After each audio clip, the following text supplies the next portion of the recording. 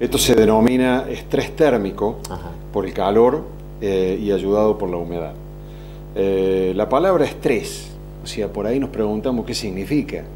Eh, en una época yo leía que estrés era como un síndrome general de adaptación a situaciones difíciles, a, cambios, de, a, cambios en la normalidad de la cosa que nos toca vivir. En este caso, estamos hablando de temperatura y juntamente con la temperatura esta elevada que estamos teniendo en la época de verano, eh, se nos complica también con la humedad. Entonces, eh, a los animales, a cualquier tipo de animal, incluso a nosotros, necesitamos tener eh, una cierta mejoría, un cierto bienestar, porque el estrés térmico puede llevar a lo peor que es la muerte del animal. ¿Eso ocurre así, digamos, por el calor? ¿Se sofoca, digamos? Ha ocurrido. a ver, esto es, eh, ocurre en una serie de fenómenos que yo digo que se altera la fisiología del animal, por eso entra en estrés, eh, y son fenómenos físicos que ocurren. Cuando nosotros estudiamos eh, los, principios físicos, que era convección, radiación, evaporación, bueno, eso es lo que, lo, que, lo que sufre el animal. Un animal eh, en épocas de... En el, caso de la vaca, precisamente, que uno lo, nota, o sea, lo que sufren mucho, las grandes este, producciones. El caso del cerdo, que sufre muchísimo, el año pasado una muerte grande, que vos la tenés que haber visto, hubo muchos cerdos muertos. Eh, aves eh, impresionantes si no tienen ventilación y refrigeración. y en el caso de la vaca, que tienen eh, los principios, la respuesta a este estrés térmico que están teniendo son fisiológicos. Y ellos lo primero que hacen eh, es el intercambio, o sea, cómo saco el calor del cuerpo, cómo saco el calor de mi cuerpo, dice la vaca. Y lo hace por los mecanismos de eh, convección, la radiación, que es cuando uno pone una media sombra, entonces el rayo solar no llega y no pega de frente, a través del jadeo, que es la, ventilación, y yo estuve buscando un videíto que tenía filmado de hace tres años atrás o dos, eh, cuando la vaca llegaba con todo el jadeo, con una respiración. A ver, la respiración normal de una vaca, la frecuencia respiratoria son 25 frecuencias por minuto, entre 22 y 27 más o menos. La vaca puede llegar a tener hasta 150 respiraciones en una forma de eliminarlo. Entonces ahí elimina el calor de adentro y lo elimina en forma de transpiración, porque las glándulas sudoríparas de la vaca, pues nunca vas a ver una vaca transpirar. Sí, un caballo, pero no una vaca. Entonces la elimina a través del jadeo. En ese jadeo hay aumento de la irrigación, aumento de la frecuencia cardíaca y eso puede terminar en un infarto. Eh, si eso le sumamos la humedad, esa pérdida de calor por lo que es la evaporación, imposible, porque hay una humedad tremenda. Entonces, eh, empezamos a trabajar con los índices, el ITH, que es el índice temperatura-humedad. Entonces, a medida que nosotros tenemos, ¿cuál es la mejor temperatura que puede tener un animal para expresar sus bondades? En este caso, su producción. 20 eh, grados. 20 a 22 grados es la temperatura ideal que puede tener una vaca. 25 ya sube y la siente. Pero si la humedad es del 30%, está perfecta. Si tenemos 25, 26, 27 grados y con una humedad del 40, del 50, ya se empieza a complicar y el índice, hay una tablita, el ITH sube y cuando el ITH sube a un 73, 74%, el animal entra en un estrés térmico.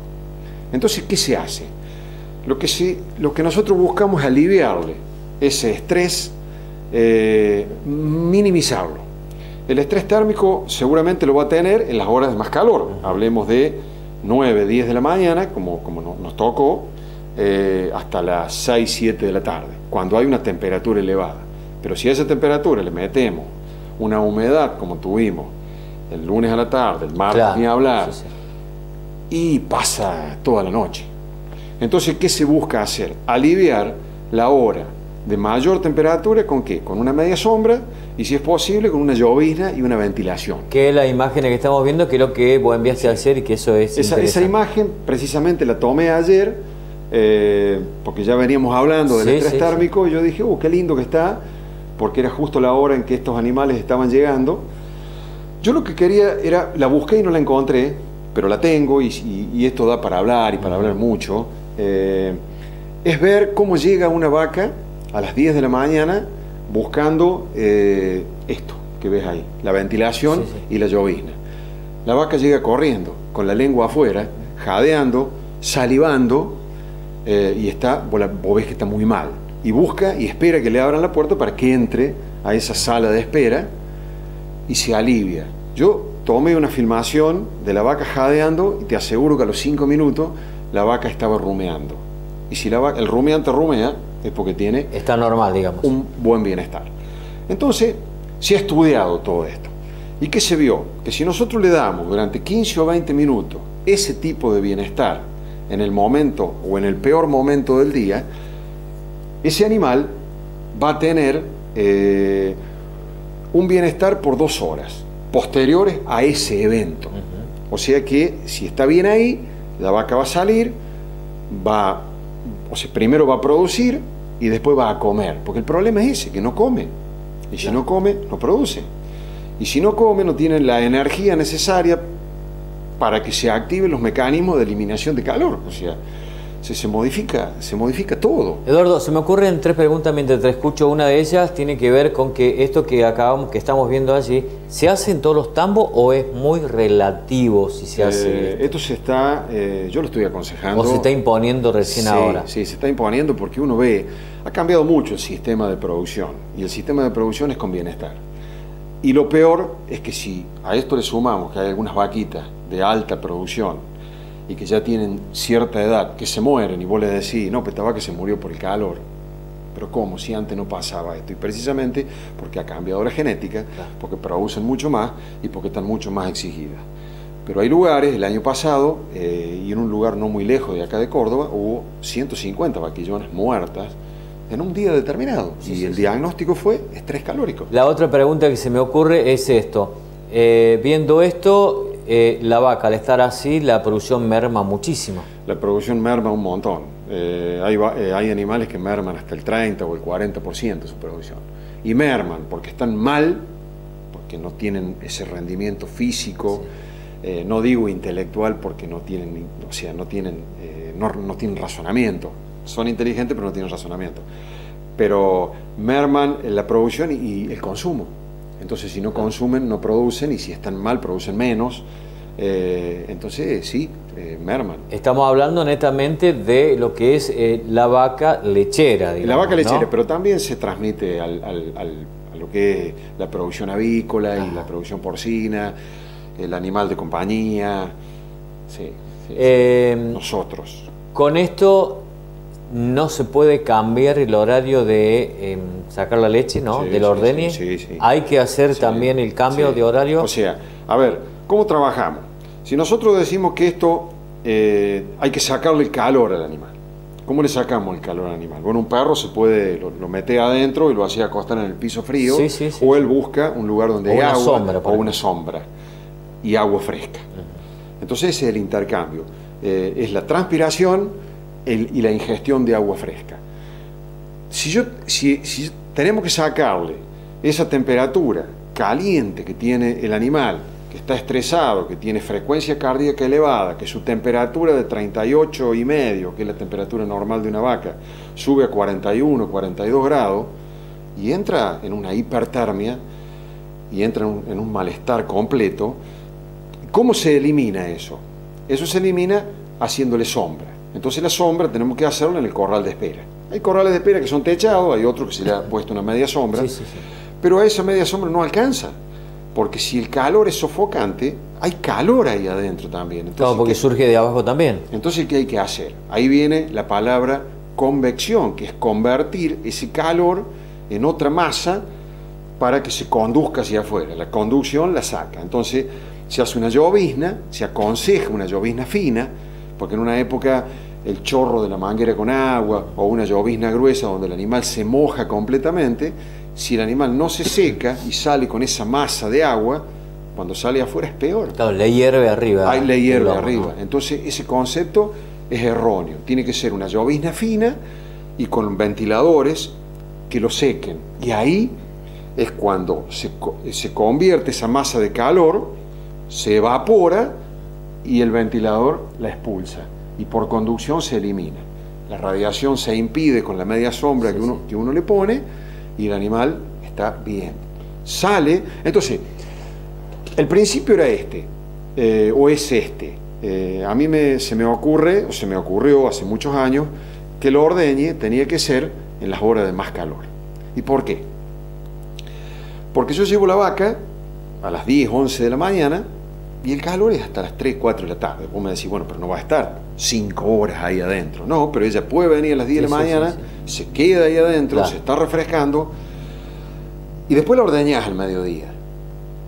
Y ella sale a la 1 y media, 2 de la tarde. Yo viste que ahí en la imagen puse cuando salieron las vacas. Está bien que ayer se levantó ese vientito y cambió un poquito cuando, Yo, cuando yo tomé la imagen, pero en realidad salen y están muy bien.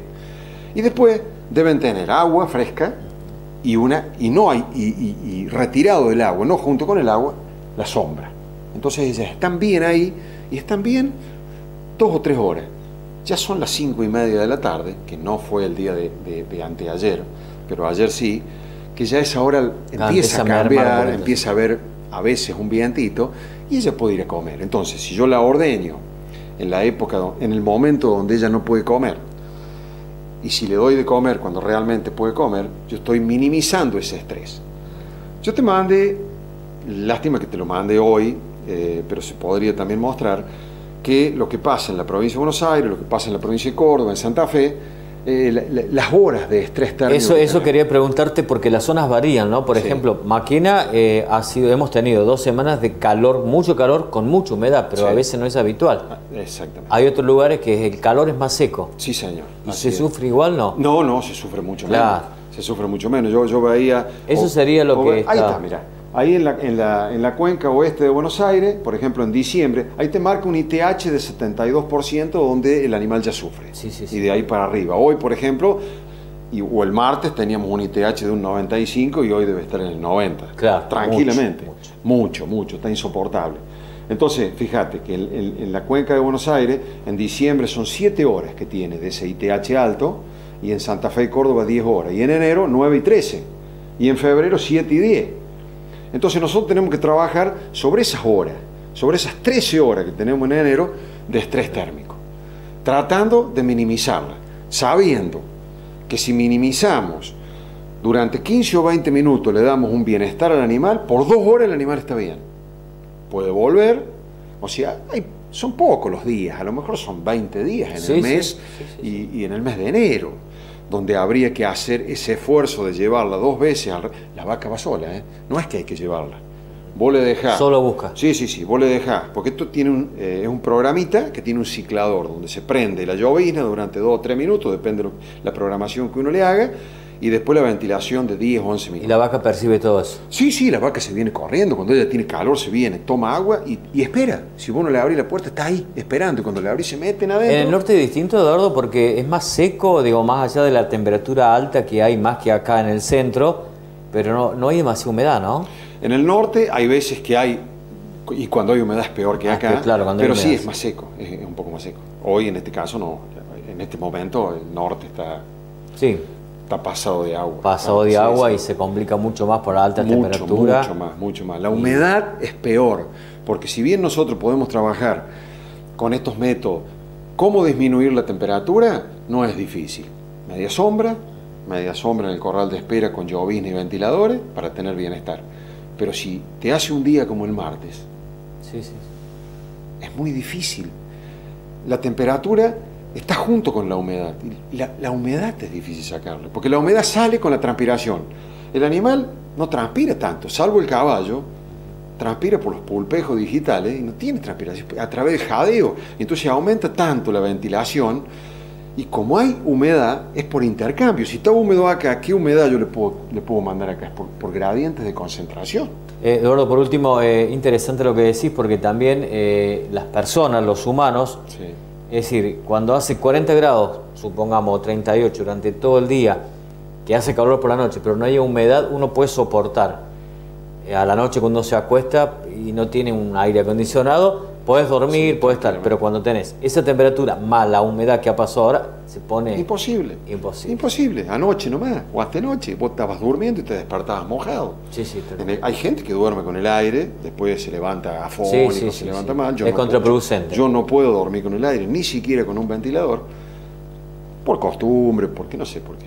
Pero yo me desperté anoche dos o tres veces mojado completamente. increíble. Eduardo, como siempre, muy amable, ha sido muy explícito. ¿eh? No, por favor. Muchas gracias, Roque.